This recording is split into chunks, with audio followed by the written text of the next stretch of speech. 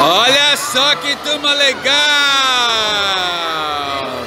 Eu adoro essa turma do Kids Place!